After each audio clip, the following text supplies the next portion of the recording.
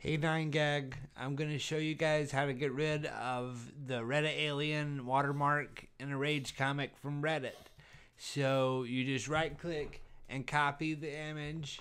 See, and now it's on your clipboard.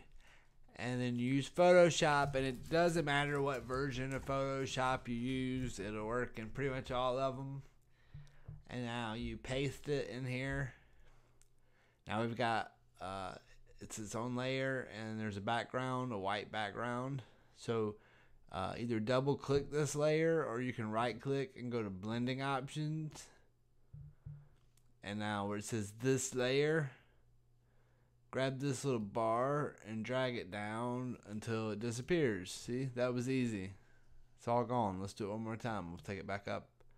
And now grab the bar and drag down. Now it's gone. Okay, so hit OK and then file, save for web, and then just save this, and you can post it to 9gag without some stupid alien on it. You're welcome.